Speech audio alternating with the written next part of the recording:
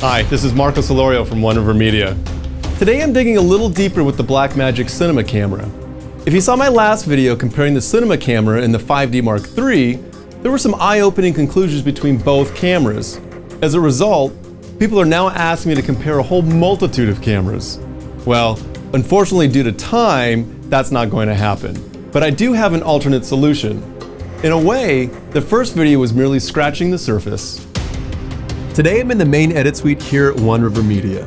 Rather than show how well the cinema camera compares to other specific cameras, I'm going to show you how well the cinema camera compares globally in 8-bit space.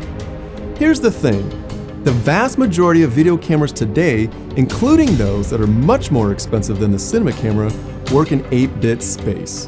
Whether it's the new Panasonic GH3, or the Canon C300, or even the 4K resolution Canon 1DC, shooting in 8-bit space has its number of limitations. These are all great cameras in their own right, including some I have myself. As such, I'm not isolating any particular type of camera here. What I am doing is showing how much more flexibility and quality you can obtain from a 12-bit RAW source to that of an 8-bit source.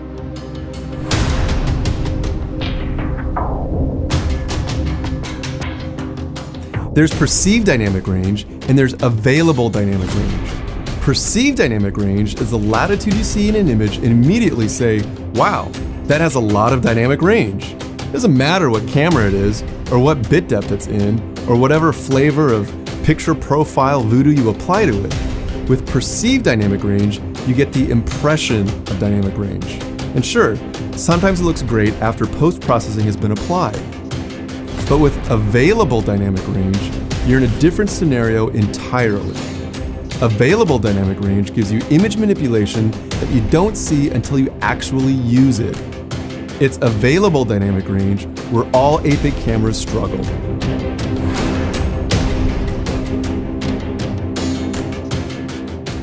Okay, so here's what I'm going to do. Rather than pull comparison footage from an 8-bit camera, I'm going to convert my 12-bit RAW footage from the cinema camera itself and turn that into an 8-bit source. This will ensure that the footage matches exactly and that the 8-bit footage isn't purposefully botched in any way.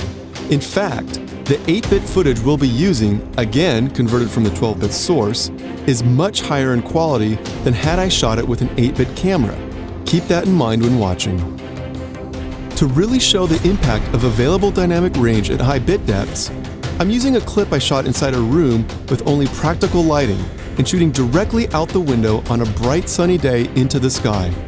So what I did first was pull the 12-bit RAW footage into After Effects CS6 with its default settings in Adobe RAW Reader 2012. From there, I created a comp and exported that to the uncompressed 8-bit codec. Keep in mind too that I'm doing this 12-bit to 8-bit conversion at 32-bit float processing, again, higher than any internal processing any video camera would provide.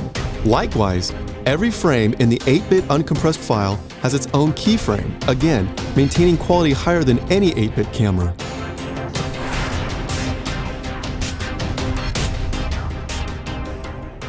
The first thing I'm going to do is open the new 8-bit file in Adobe RAW Reader. Now if we move the exposure slider to the right, we see an increase in the shadow area of the room. But if I wanted to recover any highlight detail from the window, well, this is where we hit a brick wall with any 8-bit file. By moving the exposure slider back down to zero, then beyond that into negative exposure area, we quickly see the blown out window simply turns gray. There is no image data to recover because once you clip, there's nothing you can recover. Okay, so now I'm viewing the 12-bit RAW clip in Adobe RAW Reader. Again, if I pump up the exposure, we see shadow detail come alive. Okay, back to the default exposure. Like the 8-bit version, both files seem to be blown out in the window area, but this is where 12-bit latitude trumps any form of 8-bit processing on any camera. As I move the exposure slider to the left, going into negative exposure space, we now see image recovery in the window, in the sky, and even in the clouds. Mathematically, this is an impossible task to perform in 8-bit space, but in 12-bit space, it's no problem at all. By playing with the sliders, I can quickly create a balance of shadow and highlight recovery.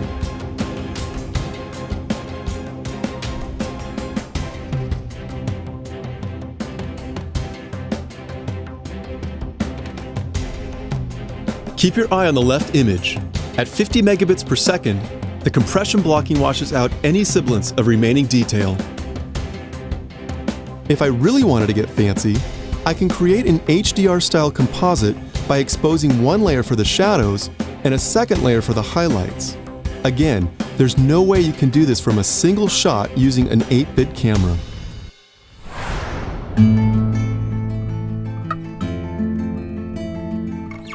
Blown out windows aren't the only advantage to using available dynamic range. Next is one of my favorite examples to show the sheer power of 12-bit latitude day for night. Here I'm using a shot from my last comparison video. As you can see, this is an extremely bright day without a cloud in the sky. It almost seems unthinkable to use this as a day for night shot, but in less than 10 seconds, I can turn this blast of sunlight into a very believable night shot, complete with moonlight highlights and realistic nightfall horizon. Comp in some stars and the moon, and your scene is complete.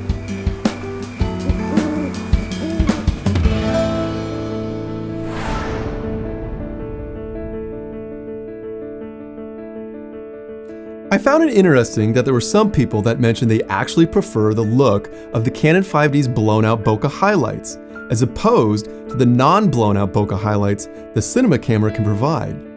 But let's be clear if you want blown out highlights in your cinema camera footage, then you're more than able to accomplish that too. Remember, available dynamic range is your friend.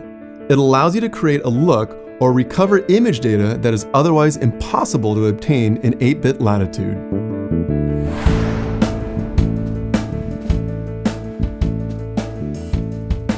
Another interesting comment I've read from people is that such high dynamic range from the cinema camera isn't needed since the footage they're shooting only ends up on the web. As shown in my previous examples, available dynamic range will allow you to manipulate footage to an extreme that is otherwise impossible with 8-bit cameras. Even with perceived dynamic range, using as much latitude as possible in your finished video will only help to serve the quality you're aiming for, even if your web deployment includes Vimeo or YouTube.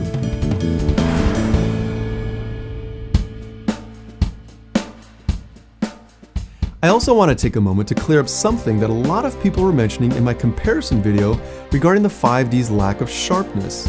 Let me clarify that detail and sharpness are not one and the same.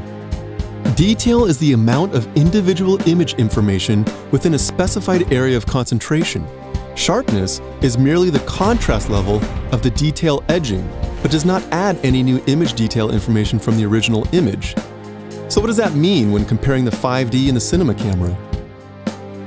If we look at one of the comparison shots in my last video, we can clearly see that the 5D's image lacks detail in the camera's rasterization of the image as compared to that of the cinema camera. Even if we increase the sharpness of the 5D's image, it doesn't actually add any detail to the image. We might get a little perceived detail in the 5D's image, but it will never add the fine detail to that of the cinema camera. It's mathematically impossible due to the 5D's internal scaling algorithm. And let's not forget, inasmuch as we can increase sharpness for the 5D, so too can we do it for the cinema camera. Although the 5D can't achieve the same level of detail as a cinema camera, I still use my 5D Mark II and Mark III alongside my cinema camera in many productions. I still stand strong to the notion that the cinema camera has the highest quality to cost ratio of any camera on the market Unlike many cameras that offer beautiful perceived dynamic range, the cinema camera goes far beyond that with available dynamic range. Couple that with its razor sharp detail and you have a camera that offers amazing results at very low cost.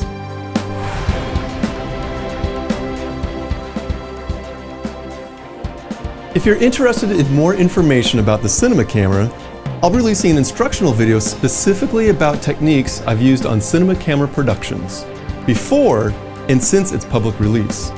It includes instruction on everything from pre-production, production, post-production, workflow, tips, and techniques. If you're interested, go to my website at onerivermedia.com slash bmcc. Thanks for continuing to watch my updates on the cinema camera.